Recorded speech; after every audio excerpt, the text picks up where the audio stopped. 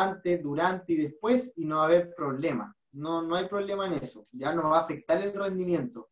El músculo uno lo puede tener elongando todo el rato y pasa y puede hacer en realidad una flexión inmediatamente, porque el músculo está hecho para eso, a no ser que la persona tenga una patología, obviamente, como hemos visto que a veces hay niños que no, no son capaces de flexar, ¿ya? Pero el normal está preparado para hacer eh, cualquier tipo de contracción rápidamente, porque para eso está hecho el músculo. Así que no hay problema si la hace antes, después, a no ser que también tenga una lesión o un desgarro, porque ahí obviamente cambia la situación. Así es. Tenemos otra pregunta acá de, de Yanna. ¿Tomar agua antes, durante o después? Claro, ahí también va el objetivo. Si un maratonista, obviamente la hidratación tiene que ser las 24 horas antes. en la carrera ya no va a servir, ya está deshidratado. Cuando yo, tengo sed, es porque ya estoy deshidratado, ya en realidad ya no sirve. Así es. Ahora, obviamente si yo estoy haciendo una, una actividad física diaria, puede ser una hora antes, y también el metabolismo de cada persona, porque hay personas cuando toman agua muy, va a empezar el ejercicio cinco minutos, toman agua y después se devuelve todo en el ejercicio. Eso también va en la variabilidad de cada una de las personas. Eh, se recomienda tomar antes y se recomienda tomar después, así que no hay problema. Y algunos pueden tomar durante, si es que no les provoca reflujo, pero hay otros que sí, hay otros que no. Así que no hay problema en eso. Así es. Yo creo que ahí también va eh, otro punto importante que es la, la bebida hidratante, ¿cierto? Como la Gatorade o la Power. Ahí tenemos otro complemento también de hidratación, ya que en algunos casos eh, es bueno, pero para básicamente para lo que son deportistas, ¿ya? De alto más rendimiento, en donde reponen los nutrientes que se perdieron a través del sudor, ¿ya? Pero siempre mejor es recomendable el tema del, de tomar agua, ¿ya? Tenemos otra pregunta acá de... Ojo, que lo... ¿Sí? ¿Sí? ¿Nico? Dale una Fabi. ojo que los lo hidratantes, los Power eh, lo que hay ahí, en realidad no, no, se pueden, o sea, no son tomables como un jugo de agua, porque tienen mucho sodio. Se supone que cuando uno suda, pierde minerales que están en el sudor, y uno lo recupera con estos eh, electrolitos, ¿cierto? Pero si uno empieza a tomar electrolito, electrolito se llena de sodio, se llena de, de agua, se hincha, ¿cierto? Y ya no va a trabajar en realidad eh, no, va a servir para la salud. O sea, eso es solamente ah, cuando uno hace deporte. Ahí estaba escribiendo Tomás, parece una pregunta. Sí, sí Tomás también. Eh, tenemos otra también que es de, de Dance CJWWQ6. ya, acá dice, si mi objetivo es sacar más masa muscular, ¿cuántos tipos de ejercicio por músculo debo hacer? la pregunta no la entiendo bien, pero... No, no, yo entiendo. dice que eh, cuánto puede trabajar un músculo, por ejemplo, cuántas veces a la semana el pectoral y cuántas series en el pectoral. Lo que sí, cuando yo quiero ganar masa muscular, lo que hablábamos, ya no hay que tener un déficit calórico, o sea, no hay que eh, gastar más de lo que consumo, era al contrario, consumir más de lo que gasto, para que pueda regenerar el músculo, ¿cierto? Regenerar musculatura y eso es a través del tiempo, no, no voy a llegar al tiro y voy a formar musculatura. Lo principal sí, es la alimentación, pero este superávit tiene que eh, dirigirse a calorías que en realidad valgan la pena, no calorías vacías. Por ejemplo, proteína, ¿cierto? Proteína lo más limpio posible, estamos hablando de limpio, carne blanca, proteína también puede ser eh, proteína vegana, ¿cierto? Y obviamente si no puedo ingerir lo que sea, porque me voy a estar gordo y no voy a ganar musculatura. Tengo que consumir combustible que me sirva para construir músculo y no lo contrario. Ahora, por ejemplo, siempre los músculos más grandes, eh, no sé cómo llamarle, pero vamos a llamarle CGA, J con la EDL. Eh, lo recomendable es que, por ejemplo, músculos grandes se trabajen una o dos veces a la semana máximo. ¿Cuáles son los músculos grandes? Pierna, ¿cierto? Cuádriceps, pectoral, espalda. Y eso tiene una recuperación más o menos de 72 horas. Por lo tanto, si yo trabajo con carga, pectoral, barra, tiene una recuperación de 70 y tantas horas. Si trabajo músculos pequeños, eso lo puedo trabajar hasta tres veces a la semana, pero siempre con carga, ya no el HIT, ya no el funcional que está enfocado a la quema de grasa, sino vamos a tener que trabajar con cargas, con serie, el 10 de 10, ya con cargas que tienen que ver con NRM. No sé si se entendió la respuesta y no sé si esa era la pregunta, estimado. Sí. Creo, creo que sí. Acá tenemos también otra pregunta que nos hace Cristina, que cuántas veces a la semana se recomienda trabajar el core, ya como lo mencionó el profesor anteriormente. ¿Cierto? Hablamos del, del core en el antes Fabián, entonces acá Cristina pregunta cuántas veces es recomendable eh, trabajarlo.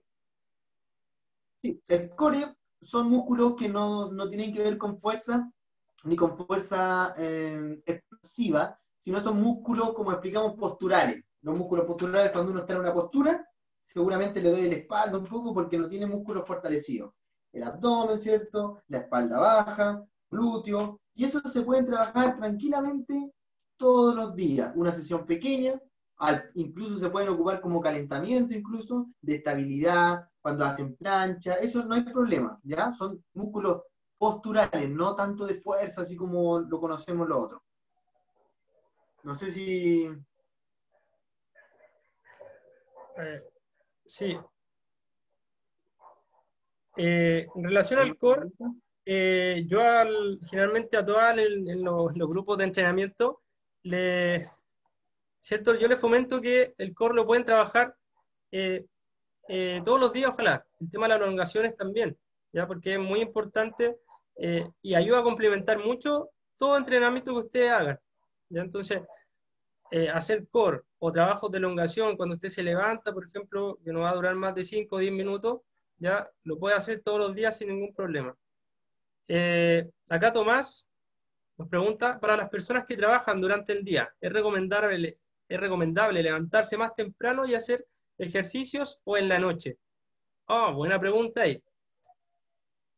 Claro, hay situaciones fisiológicas de cada persona, pero hay situaciones fisiológicas eh, que están dadas por la activación de hormonas. Por ejemplo, está comprobado que la hormona que estimula la fuerza está más activa en la mañana. Entonces los deportistas de alto rendimiento que buscan fuerza, powerlifting, culturistas, entrenan mejor en la mañana, porque tienen hormonas circulantes en su sistema sanguíneo que predominan para la fuerza. Pero en realidad, cuando uno, por ejemplo, como nosotros que practicamos actividad física, usted puede hacer actividad física en realidad en la mañana o en la noche. El problema es que cuando uno lo hace en la noche, quizás puede tener menos horas de sueño. Ahí estaría el problema de la recuperación del ejercicio. Ahora, si usted se acuesta o llega a las 8, 9, hace ejercicio y duerme las 7, 8 horas de acuerdo a su organismo, no hay problema. Entonces, no tendría problema en hacer actividad física tanto en la mañana como en la noche. Lo importante es siempre alimentarse bien, obviamente, y ojalá dormir la, la hora necesaria para, para, su cuerpo, porque hay personas que tienen que dormir 9 horas, 8 horas, algunas con 7 y listo. ¿Ya? Así que no hay problema en hacerlo ninguna hora, o sea, no hay problema con hacerlo ni en la mañana ni en la tarde.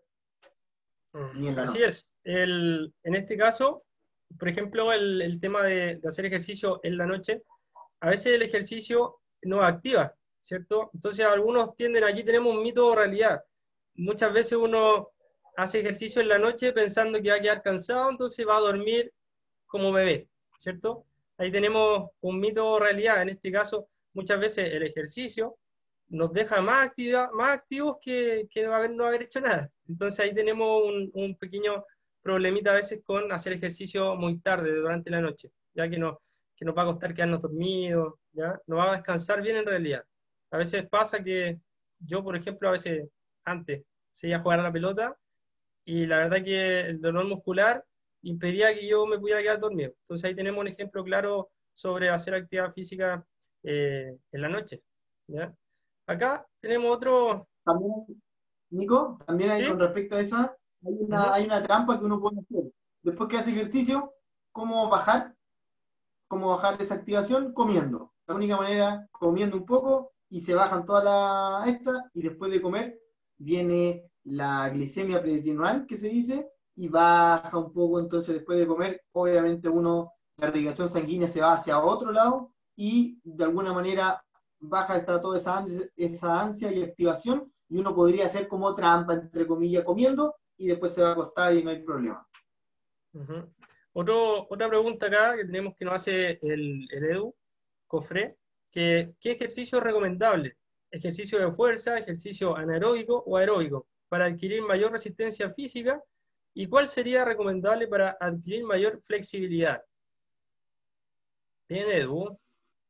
Ya, a ver, vamos por lo primero. Lo primero, si yo quiero, obviamente, si yo quiero, de acuerdo al eh, el objetivo que yo quiero, si yo quiero trabajar o quiero mejorar mi sistema anaeróbico, tengo que hacer trabajo anaeróbico.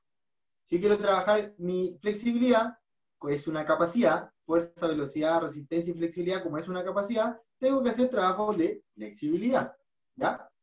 Pero si me pueden leer la pregunta de nuevo para ir viendo que no me acuerdo muy bien. Eh, bueno, yo creo que ahí respondiste la primera que dice que el, ¿qué ejercicio es recomendable? ¿Ejercicio de fuerza, ejercicio anaeróbico o anaeróbico? Acá Fabián explica que, que según el objetivo que uno tenga, ¿cierto? Pero acá también dice que para adquirir mayor resistencia física, eh, ¿cuál sería lo recomendable? También para eh, adquirir mayor flexibilidad. Entonces, si tú quieres mejorar la resistencia física, claramente eh, un trabajo aeróbico te va, te va a servir en ese caso y para mayor flexibilidad también tenemos ahí otro tipo de, de ejercicio. Ahí podemos complementar, Fabián, con esa pregunta, con la, como la segunda parte. Claro, es que si se refiere a resistencia, puede haber una resistencia muscular, pero me imagino que es de resistencia eh, cardiovascularmente, como alguien que... Entonces hay ejercicios, como por ejemplo el HIIT, el funcional, que trabajan con intervalos y eso mejora la resistencia.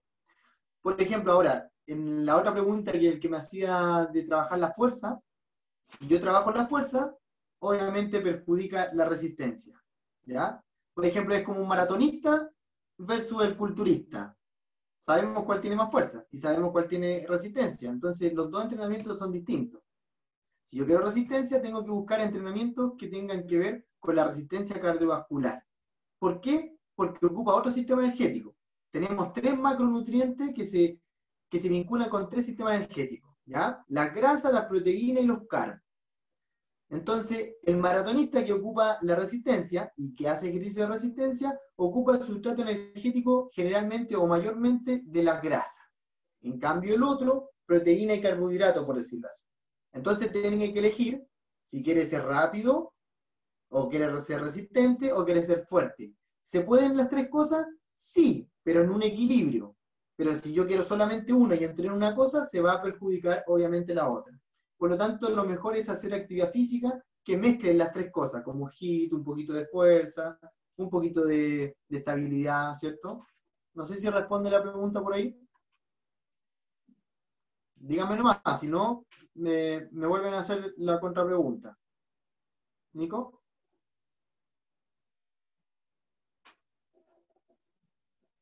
Nico, estás muteado. Ahí sí. Ya, mira, nos falta una parte acá de la pregunta del, Edu, que para adquirir mayor flexibilidad. Ahí no, no le hemos respondido. ¿Qué ejercicio nos sirve? Ya, le expliqué yo que la flexibilidad es una capacidad física igual que la velocidad y la fuerza. Entonces, ¿qué ejercicio? De flexibilidad, cuando uno dice elongación, ¿ya? Todos los trabajos que tengan que ver con elongación, todos los trabajos que tengan que ver con flexibilidad, elongar, eh, en suelo, eh, asistida, no asistida. Ahora, si no maneja los trabajos de flexibilidad, tú le das mi correo y yo le puedo mandar libros de flexibilidad que muestran miles de tipos de flexibilidad, ¿ya? Así es. Me imagino yo que puede ser también ahí, Edu, eh, a tu pregunta respecto a la flexibilidad, eh, ¿cómo la puedes mejorar?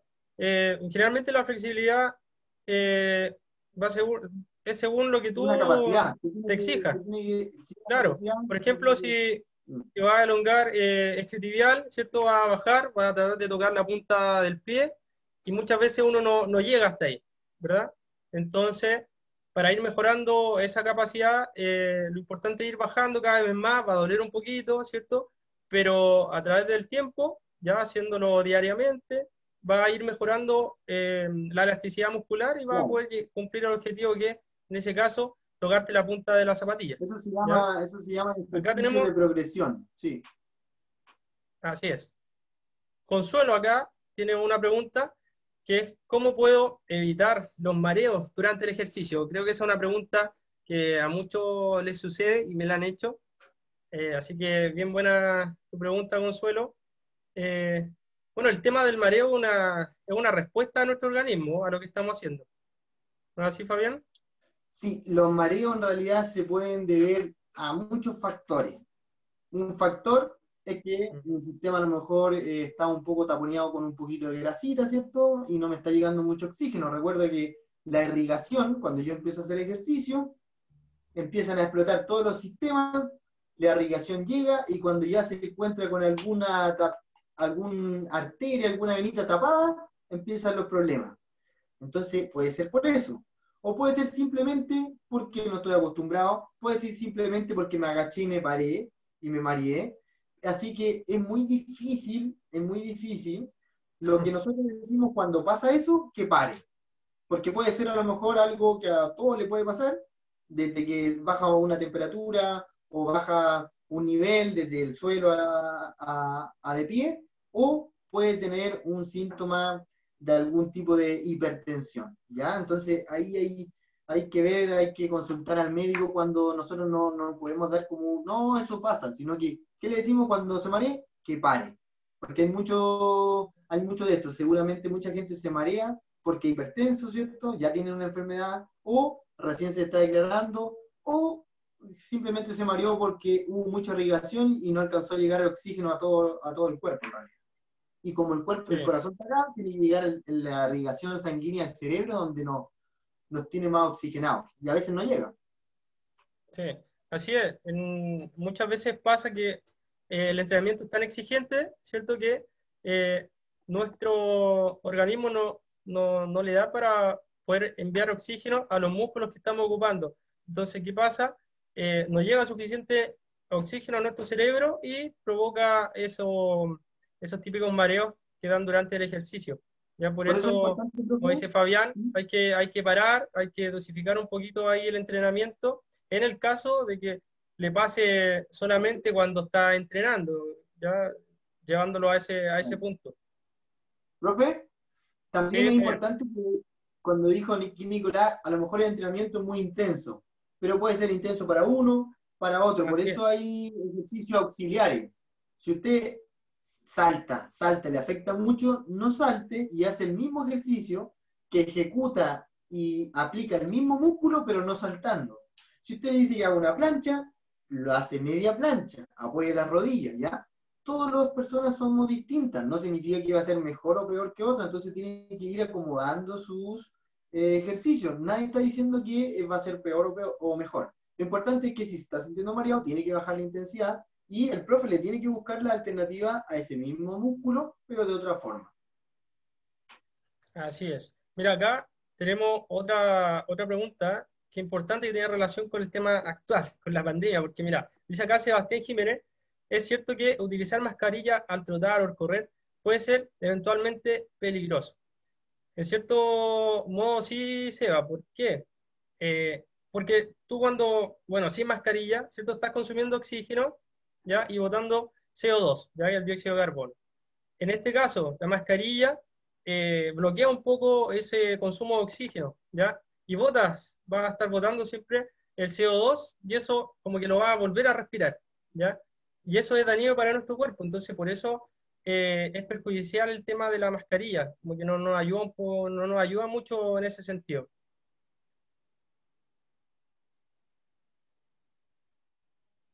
Sí. Acá, otra pregunta, Fabián. Tenemos acá que el Edu, ah, no, el Edu ya está listo, dice.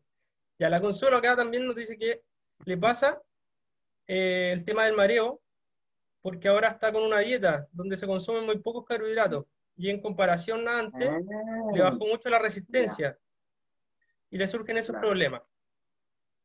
¿Ya? Entonces ahí corrobora un poco lo que, lo que explicaba Fabián, ¿ya? Hay otros factores aparte del ejercicio que a veces producen esos mareos. Los carbos, los carbos son la principal fuente de, glicemia. Cuando uno come carbohidratos, ya sea avena, carbohidrato más sano, o arroz fideo, lo primero que sube es la glicemia.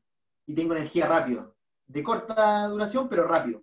Entonces, cuando yo empiezo a bajar los carbos, me empieza a bajar un poquito esa necesidad y ya no me siento tan enérgico, aunque estoy consumiendo proteína y todo, entonces sí. Lo importante es que si es que bajo los cargos, que lo empiece a bajar de a poquito, para que el cuerpo se vaya adaptando. Ya no puedo, como esa dieta estricta, saco todos los cargos de mi dieta. La avena es carbo, entonces puedo consumir avena, cosas integrales o en menos cantidad. ¿ya? Eso es lo que pasa con las dietas, que son muy, em, por decir así, radicales. Y la, eh, radicalidad, entonces estamos como pasa esto, como estas cosas, como que eliminamos todas las fuentes de, nutrientes de nuestro cuerpo y en realidad pasan estas cosas que en realidad pueden ser hasta peligrosas. Ahora está de moda el ayuno, ayuno intermitente, que en realidad si uno no lo sabe manejar, pueden pasar cosas eh, terribles. Así es. Bien, chicos, muy buenas las preguntas. ¿Alguien más? ¿Alguna, alguna pregunta, duda que, tenga? Acá la, la Fanny, la Sandy, Karina. ¿Alguna otra consulta? Sí, yo tengo una. Ya. Eh, mira, ahora eh, yo también estoy en dieta y me recomendaron, em, le comenté que estábamos haciendo este como pre-hit eh, y me sugirieron hacer tres veces a la semana más musculación, pero no especificaron ni qué ejercicio, ni cómo, ni qué. ¿Me entendí? Entonces como que no sé cómo no sé cómo eh, equilibrar los ejercicios para que sea como algo más parejo, ni qué ejercicio hacer, ni nada, no, como que la musculación yo generalmente la trabajaba en el gimnasio, pero ahora como que uno se tiene que adaptar a lo que tiene. Y, y no sé si me podrían como orientar en ese sentido. Claro, cuando, cuando dicen musculación, lo más sencillo es las máquinas en el gimnasio, que tienen que ver más con la fuerza, ya no, con tanto eh, la, la, propiedad que tiene el músculo de saltabilidad, como lo hace el HIT ahí con el Nico. Entonces, ¿cómo se podría reemplazar? En realidad tendríamos que tener un poco de carga, un poco de peso por ahí en la casa, y si no, tenemos que hacer series estables de, de sentadillas, ¿cierto? Hacemos 10, 12, descansamos, 10, 12, descansamos, repeticiones. Esa es la musculación, entre comillas, que podríamos hacer en la casa a lo mejor con algún tipo de peso, entonces por eso de ahí salieron los bidones de agua, la mancuerna hecha en la casa. A eso se refiere musculación, es que el músculo haga 12 repeticiones y descanse, con mucho peso o con el más peso que podamos llegar. En brazo, en mancuerna, eso quiere decir musculación. A eso le llaman cuando, cuando nos mandan la musculación, es un trabajo más estático, eh, menos esfuerzo, pero un poco más de tensión, hacemos un poco más de, de, fuerza. ¿ya? Eso va a ayudar a que la musculatura se fortalezca, ¿cierto? Pero no va a ayudar un poco a la quema de grasa, sino que está ayudando para que en realidad con la dieta yo pueda fortalecer y apretar el cuerpo, por así decirlo. Ok. Súper. Súper Fabi ahí. Ya. ¿Alguien más? ¿Alguna, alguna pregunta? Siéntanse la confianza no va a preguntar, no hay pregunta, no hay ni una pregunta, tonta. Pancho con Matías. Pregunten nomás. También. Ah, ahora van a hacer un hit. Ahora el tiro van a hacer un hit. sí. Acá, en este caso, por ejemplo, eh, bueno, surge una, duda en el caso de, de los niños, ¿ya? ¿Qué, actividades puedo hacer eh, o qué actividades pueden hacer los niños? En este caso, el hit que está trabajando acá Matías, que tiene 12 años, Mati, 13. 11. Sí. Ya, entonces acá Matías, eh, 11, 11, ah, ya, bien. Eh, acá Matías, en este caso, eh, el hit le beneficia mucho porque igual está trabajando su, su habilidades motrices. Está saltando en todo momento, ya está trabajando su capacidad aeróbica. Es como si estuviera jugando. Entonces, para un niño de su edad, es lo mejor. ¿ya? La verdad que, que le ayuda bastante a, a, mejorar sus habilidades motrices, el tipo de actividad que estamos realizando actualmente, ¿ya? Y para, para todo en general.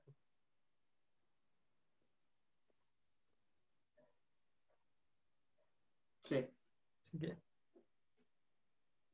Bueno, Fabián, eh, ¿algo más que, que se nos escape? ¿Alguna, ¿Algún mito realidad que no, realidad, generalmente claro, la gente tiene. No, eh, hay, hay muchos mitos, pero a lo mejor, bueno, no sé si salieron todas las dudas. Yo quiero agradecerle por, eh, por haber eh, dedicado algún tiempo de, su tiempo para eh, escucharnos. espero que desde, nuestro, desde nuestra mirada hemos aportado algo, un granito de arena en su, en su conocimiento, que puedan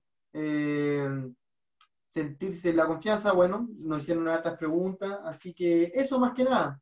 Queríamos agradecerle, bueno, en mi nombre quiero agradecerle eh, y eso más que nada, nada más.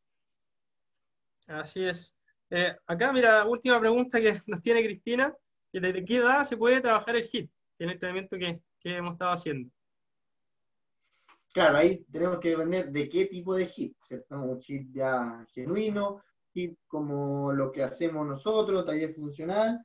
Desde qué edad el niño ve el HIT, o sea, un niño no podríamos hacer los HIT como el real HIT, sino que haga las habilidades que tú nombraste, salta, correr, locomoción, hiperventilar, ¿cierto? Sudar, y, pero no, no habría una, una edad, por así decirlo, para el HIT. El HIT genuino está solamente para deportistas de alto rendimiento. Las otras modificaciones para la salud lo puede hacer hasta un niño, dependiendo obviamente de todas las características. Hay que ver primero cómo está su salud, ¿cierto? Cómo está su IMC, cómo está su diagnóstico, pero el niño seguramente si está cansado va a parar, no le va a preguntar a nadie, así que por ahí no, hay mucho riesgo. Así es. ¿Una edad, específica? No lo sé, una edad específica. Así es. Es por eso que igual el entrenamiento acá lo, se puede adaptar. Bueno, todo entrenamiento se puede adaptar según las capacidades de las personas que, van a tomar los entrenamientos. ¿Cierto? En este caso, eh, el HIT, tengo un grupo que hay un poco de todo. Hay personas que, son, que están un poco más capacitadas físicamente para, para un entrenamiento un poco más intenso, otros no tanto. Entonces hay que hacer un entrenamiento que nos pueda ayudar un poquito para todo y ahí también van las variantes que uno va utilizando en, en, los ejercicios. Ya, por ejemplo, en las flexiones de, de brazos, flexión, extensión de codo, eh, apoyar rodillas de una forma ya para, para que no sea tan intenso el ejercicio, o está hacerlo como tipo plancha, ¿cierto? Levantando la cadera, eh, ahí ya el ejercicio vendría siendo un poquito más intenso. Entonces ahí vamos regulando las intensidades de los ejercicios según las capacidades que tenga cada, cada sujeto. Claro, lo importante del HIT no es que lo hace mejor y que lo hace más intenso, sino, recuerden, quemar las, las calorías. Hacer un entrenamiento para que nos queme calorías de todo lo que consumimos, también eh, dejar un poco de lo que uno consume. Así que no se preocupe si usted no lo hace muy bien, si lo hace acá, si le cuesta. Lo importante es que lo haga dentro de sus características y está haciendo actividad física, que está quemando calorías y está eh, haciendo un equilibrio entre lo que ingiere y lo que gasta. ¿ya? Así que no se preocupe en esa Así es. Bueno, chicos, eh, agradecido de mi parte y Fabián ahí que, que, que hoy está con nosotros aportando en esto. Eh, un trabajo que llevamos haciendo hace un par de semanas, ya espero que, les haya gustado, que haya sido de su grado y que les, que les complemente a, las dudas que tenían, ya que les complemente con el día a día y, y realmente vamos, la idea es que generar conciencia en las personas, eh, los beneficios que tiene realizar actividad física, eh, aún así estemos en pandemia o no, ya hay que, creo que queda claro que hay que hacerlo igual y, un poco como agradecimiento les tenemos un regalito. Ya necesito que todos me manden ahí su, su correo ahí por interno eh, para poder mandarles un, un, libro que es de alimentación en pandemia. Ya un libro que, que es súper fácil de, de, entender. Ya son cosas que, que ahí les pueden servir mucho para el día a día. Ya chiquillos, así que agradecido. Eh, muy interesantes las preguntas que, que, nos, que nos hicieron y qué bueno que, participaron de, esta charla, chiquillos.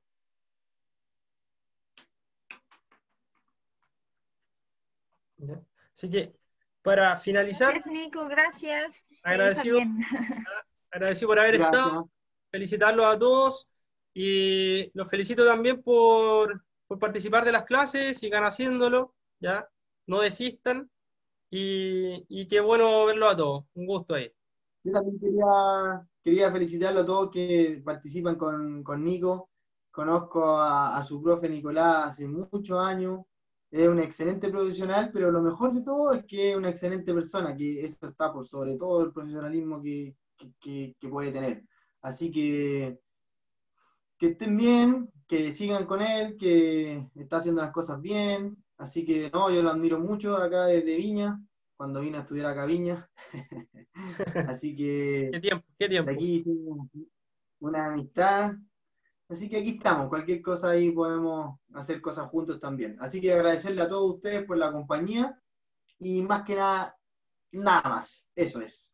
Así es. Así que chiquillos, agradecidos por, por haber escuchado eh, nuestras palabras y todo. Y también comentarles que Fabián está también está en el grupo, también participa en algunos entrenamientos, así que cualquier consulta ahí eh, estamos nosotros para responder sus dudas, ¿ya? Y lo que vaya saliendo a raíz del tiempo, ¿ya? Así que que estén muy bien, chiquillos. Saludos a todos, a su familia, eh, a todos en su casa, que estén muy bien.